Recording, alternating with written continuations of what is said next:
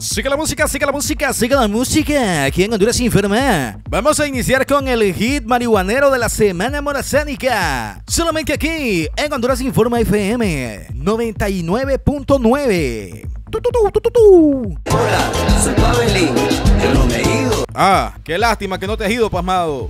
yo sigo aquí. Si creías que a los ricos que caminan en los moles les molesta que les digan que son unos delincuentes. O sea que todo el que va a un mall es un delincuente, papá. Ya sabe, si usted es un ciudadano de bien, no vuelva a ir a un mall, a ningún mall. Aunque en Estados Unidos ellos allá andan en los malls. Acuérdense de dónde andaba el Quijadas y compañía comprando allá. En los malls de prestigio allá va, donde solo van artistas y millonarios. Pero ustedes creen que Pavelin no rapea. Ah, Pavelin rapea. Aplastando cabezas, vamos a bailar este ritmo suave. Ay, ay, no me ponen duda y no. Bueno, no sé cuántos puros se habrá metido Pavelín antes de grabar ese video, pero ahí está, mire. Nueva canción, una tiradera dedicada a los fachitos de las casas frente al mall y los ricos que no pagan impuestos. Ay, Dios santo. Señores, este tipo de personas vive a costillas del gobierno, o sea, mejor dicho, a costillas del pueblo. ¿Usted está de acuerdo que este tipo de personajes ganen dinero por eso? Por echarse su puro y por andar cantando este tipo de... o sea, si es que le puede llamar cantar a eso, ¿ah? Bueno, este es el hit morazánico en este año, así que pídalo ya. Solicítelo en su emisora favorita. El hit de Pavelín Núñez que fue nombrado por Xiomarita embajador de cultura y no sé qué diablos y un montón de papadas. Cultura. O sea, ¿cómo se le puede llamar cultura a esa porquería que hace este tipo? Pero bueno, porquería, ve, perdón, eh, cultura refundacional. Que no entendemos nosotros, los incultos. Así como me dijo un pasmado una vez, porque pasaba poniendo música de calle 13 ahí, refundacional. Y yo le digo, pero ¿y eso qué tiene que ver? O sea, no son ustedes los que defienden las mujeres y ese tipo cantando un montón de estupideces. Ay, vos no le entendés porque es música cultural con otro sentido. ah, qué bueno ser inculto entonces, papá. Ha habido un gran notición, ya pasando a la información, después de reírnos un poco con ese hit musical, reírse para no llorar, va. Ayer estaba Shirley y la riata brincando en una pata. Ay, tenemos noticias nuevas, un notición. Estaban todos que ya se miaban los achichincles. ¿Por qué? Porque después de que apareció la noticia, que incluso la pasamos aquí y todo, de que Carlón Celaya todavía estaba de coordinador del M28, o sea, el movimiento de la amapola, donde va Rixi Montuca, pues al parecer estos tipos no les gustó que se estuviera hablando de eso y corrieron a cambiar su coordinador nacional de M28. Y no, ya no está Carlón Celaya. Quitaron a Carlón porque andaba ahí en esos videos, entonces tuvo que renunciar Carlón Celaya. No vamos a tolerar eso. ¿A quién ponemos? A la sobrina de Carlón. La Pichu, papá, la Pichu Celaya. Vea usted. Comunicado M28, poder para vos. Compañera diputada Pichu Celaya. La invitamos a asumir la coordinación nacional del movimiento M28, poder para vos. Rixi Semita Moncada, próxima presidenta. Y ahí lanzaban el comunicado. Y al parecer aceptó y todo la Pichu y es la nueva coordinadora general del movimiento M28 de la Amapola. Uno de los primeros en reaccionar a esto fue Mario Díaz del Partido Nacional, que decía lo siguiente: Sobrina de Carlos Zelaya, presunto narcotraficante captado en video reunido con capos de la droga, asume como coordinadora del M28. Y es que imagínense, es un chiste. Renunció Carlón Zelaya por ese video ahí comprometedor. O sea, no por todas las menciones que se le venían dando desde hace mucho tiempo, sino que como apareció evidencia fílmica, apareció él con mucha dignidad y renunció a sus cargos. Ay, qué hombre más íntegro. Y ahora asume su cargo su sobrina, ya que en base a ley ella no puede participar ya como diputada, ni como presidente, ni como candidato a nada. Ella no puede participar en estas próximas elecciones.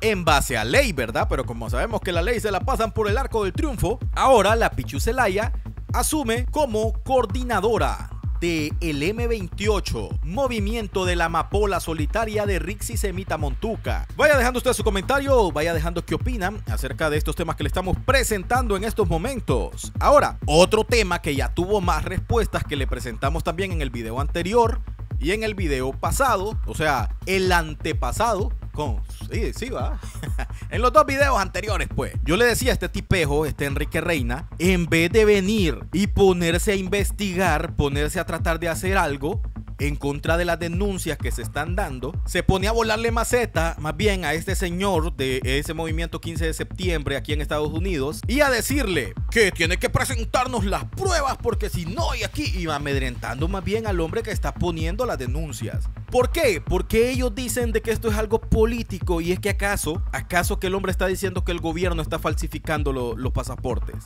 El hombre está diciendo que por culpa de que en los consulados no son capaces ni de informar que no van a trabajar en la semana morazánica y aún así siempre dan citas, porque no contestan por ningún lado, porque o sea, no hay forma de comunicarse, de saber cómo se tiene que hacer un trámite. Los hondureños en Estados Unidos caen en estas estafas que realizan otras personas, haciéndose pasar como gente de migración, todo esto, y les venden pasaportes falsos. Esa es la denuncia y dice él que muchas personas están denunciando esto. ¿Qué hizo Enrique Reina en vez de ponerse a investigar y todo esto? No, a querer amedrentar más bien al don que está poniendo la denuncia. Después de que este señor de la Fundación 15 de septiembre apareciera diciendo eso, de que más bien parece que es que lo quieren fregar a él en vez de ponerle atención a la denuncia, apareció Mancito ya Enrique Reina ahora hablando ya más tranquilo. Nuevamente agradecemos nos envíen las pruebas de lo que habla para iniciar las investigaciones de manera seria y formal para saber qué casos son, en qué ciudades, cuál es el modus operandi y trabajar conjuntamente con Migración, Ministerio Público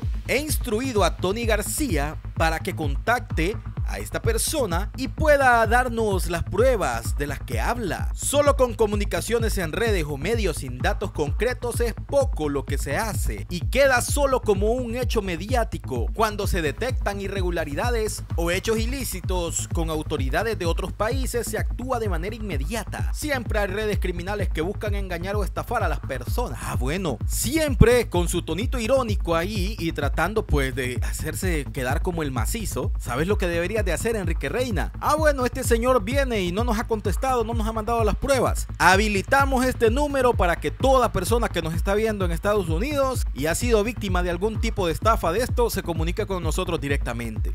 Serví para algo, muchacho. Vos querés todo en el pico también. Serví para algo. Investiga vos, ya que solo pasás zampado en el teléfono 24 horas retuiteando, Xiomara cumple, serví para algo y dedicarte unos minutos a hacer eso. Decirle a estos tipos que tenés en los consulados que pongan un fucking número a la que la gente se pueda comunicar y contesten, porque no contestan. Es cuestión de que mires el video anterior que tenemos, te pongas a leer todos los comentarios ahí, Enrique Reina, para que mires todas las quejas que tienen los hondureños en Estados Unidos con respecto a todos los consulados. ¿En qué ciudad? ¿En qué? En todos, animal, en todos. Ponete a investigar, o sea, gánate el sueldo, papá. Ganate el sueldo. No, estos quieren todo en el pico. Vamos a escuchar entonces a Juan Flores, de la Fundación 15 de septiembre en Estados Unidos, refiriéndose acerca del tema y de cómo, en vez de asumir y tratar de controlar esto, investigar por lo menos, se ponen más bien a querer amedrentarlo a él, imagínese. Fados,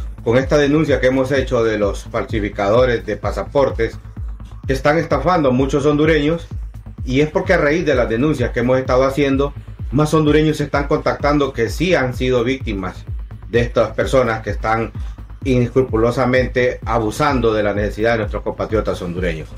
El cual ya llevamos varios hondureños que nos están enviando las pruebas, nos están enviando audios, nos están enviando transacciones bancarias, incluso nos están enviando algunos pasaportes que realmente terminaron de hacer toda la transacción y sí, efectivamente les han entregado un pasaporte falso.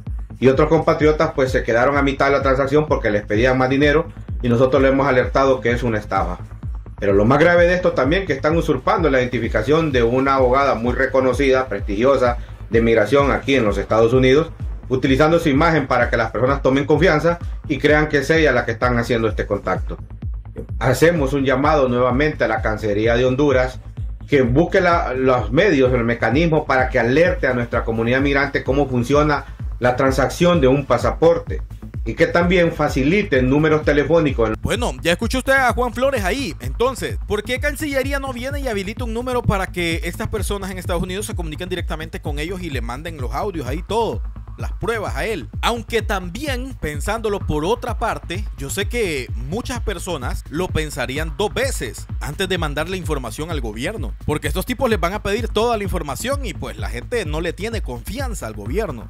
Ay, pero que entonces cómo van a solucionar? Miren, yo estaba viendo una noticia que la pasaron en un medio ahí dañino, pero que es el amor ahorita de los de Libre, que es, hable como Hernández le decían, ahora es el canal refundacional del pueblo, porque pasan pagando publicidad ahí a cada rato, donde un hombre se iba del país junto con su hijo, con su nuera, con su esposa, porque les están cobrando extorsión y todo eso. Dice este señor que fue a la Dipanco a ver cómo ponía la denuncia y no le pararon bola, ahí lo tuvieron tirándose la pelota unos con otros. La cosa es que no les pararon bola. Pues entonces vino y se fue a los derechos humanos a poner la denuncia también. Allá medio lo atendieron, dice, le tomaron la denuncia, pero le aconsejaron, escuche bien, en los derechos humanos, que no fuera a la Dipanco, porque más bien se le iba a empeorar la situación. O sea, ¿cómo puede interpretar eso usted? La Dipanco es la Contramaras y Pandillas, Dirección Nacional de no sé qué, Contramaras y Pandillas. Entonces, ¿cómo es que usted yendo a poner una denuncia ahí? Más bien, no, cuidado tenga cuidado,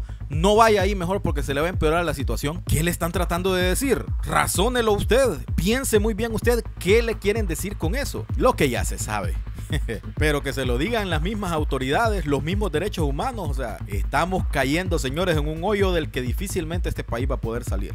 Pasamos rápidamente a la siguiente información y le pido siempre a los hermanos migrantes en Estados Unidos que vayan dejando ahí su comentario y su experiencia en los consulados. Estamos recopilando para dedicar un video total solamente a esto de los consulados allá en Estados Unidos, a todas las injusticias que sufren los hondureños, con estas personas que ganan un billetal ganan un billetal exagerado al mes, pero que no son capaces ni siquiera de decir que se van a tomar el feriado morazánico, dan citas y hacen que la gente vaya de puro gusto a los consulados, a gastar dinero, a perder su día de trabajo y todo. Hablando siempre de embajadas y consulados, mire que el Chele Castro el Chele Castro apareció diciendo que va a votar en contra de la aprobación de un acuerdo, que era el que yo le presentaba ya días, sobre servicios aéreos entre el gobierno de Honduras y Cuba. Yo le presentaba también un video ahí del doctor Matthew diciendo que hay una parte que dice que se van a permitir no solo vuelos comerciales, que se va a permitir que pasen aviones por aquí sin que aterricen y otro montón de cosas. ¿Por qué? Que pasen aviones de Cuba por aquí sin aterrizar y un montón de babosadas ahí extrañas en ese convenio. Pues a esto se refiere el Chele Castro que dice que él va a votar en contra. Mire, le responde el embajador de Cuba en Honduras. Me dan pena los arrepentidos de haber sido de izquierda que acaban agrediendo sin causa ni razón a Cuba. Es que porque estoy cansado de estar leyendo papadas donde no escriben bien estos inútiles. Así leí la del la de el canciller, la anterior, con un montón de errores. Ahora la de este viejo, pero bueno, ¿qué se puede esperar de esta gente? Me imagino que quiso decir sin causa ni razón a Cuba. Y se ponen del lado de la y del imperio por mezquita intereses políticos. Es seguro que ni siquiera se han tomado la molestia de leer el acuerdo. corre, Chele Castro, corre, corre brincando ahí. Anda a ponerle queja al canciller y decirle que está sufriendo de injerencia de otro país. Anda a decirle, Chele Castro. Ah, ve, perdón, es que esto no es injerencia, ¿verdad? Así como le vuelan riata a Estados Unidos que hasta supuestamente, vamos a creerles, que por eso cancelaron el tratado de extradición. Ajá, y este señor de Cuba, miren todo lo que le está diciendo a un diputado opinando sobre temas del país y todo esto. Eso no es injerencia. ¿Qué reacción va a tener Enrique Reina sobre esto? Ninguna, capaz sale más bien aplaudiéndole a este señor. La doble moral, la doble vara de medir de estos personajes nefastos en el gobierno. Que bueno, así se ponen, chillan y patalean si no les quieren aprobar sus caprichitos. Igual que Juancho, ¿se acuerdan? Cuando lo de la policía militar, por la que votó Critza Pérez a favor, la heroína que ahora tienen en libre. Juancho, el mejor presidente que ha tenido Honduras según Miguel Caballero Leiva, quien apoyó fielmente su reelección. Sí, Miguel Caballero Leiva, el que también tienen ahora como un héroe en libre, esos mismos.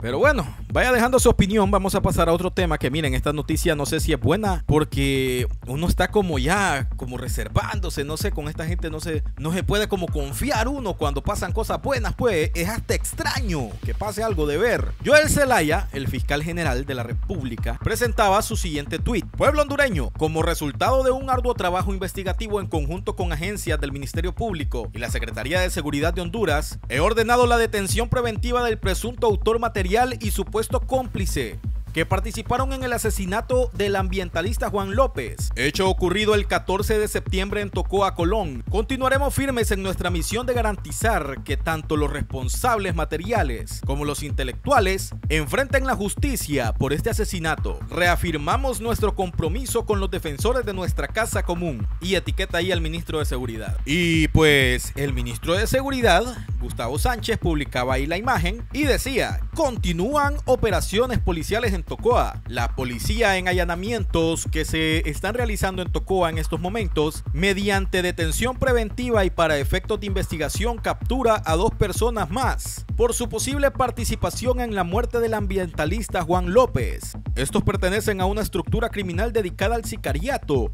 en la zona y que fueron contratados para ejecutar este ilícito penal. No descansaremos hasta llegar a todos los responsables de este lamentable hecho. Diamara Castro. Bueno, han capturado entonces a estas personas por suponerlo que ellos son los autores materiales de este crimen, o sea, los que lo ejecutaron. Falta ahora quién los contrató, si es que en verdad estas personas son los autores de este crimen. Porque como le digo, uno queda como así como, no sé, como escéptico, pues. ¿Será cierto? ¿Será mentira? ¿Será sandía? Será melón. Ey, será melón. ¿Quién será? ¿Quién será el actor intelectual de este crimen? ¿Quién será? Mejor dicho, la pregunta no es esa. La pregunta es, ¿lo van a atrapar a él también? ¿A él o a los? ¿Lo van a meter al mamo también? Esa es la pregunta. Bueno, esperemos a ver, Joelito, si nos trae más informaciones. Manténgase pendiente. Mientras tanto, señores, como le decía también en videos anteriores, no crea usted que solo lo de las sedes iban a revisar los magistrados. Yo se lo dije también, van a revisar el pacto de impunidad para fortalecerlo y reforzarlo o para quitarlo y que le pase lo mismo que a las sedes. ¿Qué cree usted que va a pasar?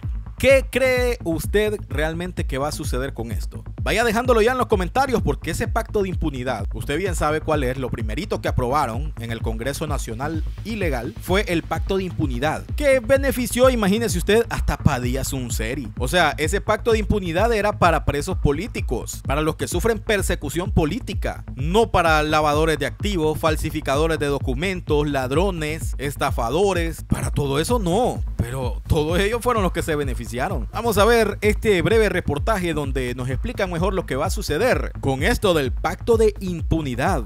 ¿Se queda el pacto de impunidad o se va? ¿Usted qué cree? Bueno, como ya todos ellos saben, este tema estaba en la agenda de la lo que se tuvo el 20 de septiembre. Eh, pero pues por cuestiones de, de que algunos compañeros todavía expresaron no haber tenido tiempo para haber leído con amplitud eh, este proyecto. Entonces decidió, se decidió eh, colocarlo en agenda hasta para una vez concluido este periodo de, vacaciones. Eh, por lo tanto, pues es un tema que ya está en la agenda del 8 de octubre y eso es lo que vamos a discutir ese día.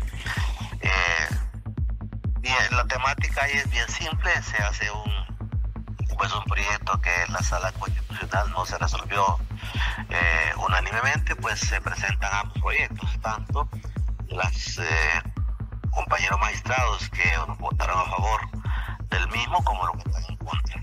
Y por lo tanto, esos dos proyectos se van a, discutir y se tomará la decisión que en ese momento corresponde al voto de cada otro magistrado que, que votan por, a favor de, de uno u otro proyecto que están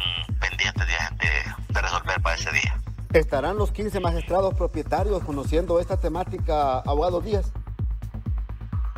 Es probable que sí, todos, excepto los que ya participaron previamente en la sala constitucional, ellos no pueden estar de acuerdo a, a la normativa planteada en este tipo de casos, cuando un asunto se resuelve por mayoría, entonces los participantes previos no pueden participar en el pleno.